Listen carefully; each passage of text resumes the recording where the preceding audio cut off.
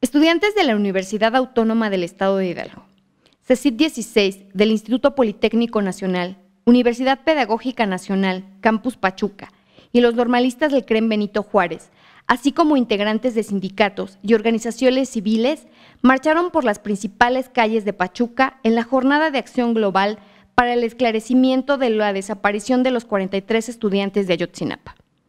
La marcha de estudiantes salió de las instalaciones de la Secretaría de Educación Pública de Hidalgo, en Venta Preta. Al arribar a la glorieta Miguel Hidalgo, se unieron integrantes de la Coordinadora Nacional de Trabajadores de la Educación de la entidad.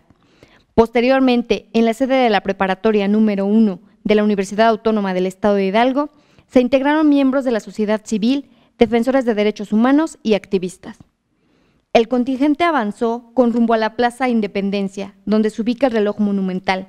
Allí los estudiantes colgaron en el asta una bandera negra en señal de protesta. En tanto, los contingentes de sindicatos y sociedad civil avanzaron a Plaza Juárez, donde terminó la jornada de protestas en Pachuca.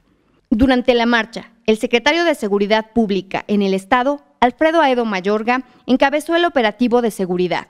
Detalló que acudió a verificar la seguridad de los manifestantes. Estamos aquí nada más dando vialidad para que todos los manifestantes vayan, vayan marchando con todas las medidas de seguridad. Reportó para Cuadratín Hidalgo, Marisol Flores.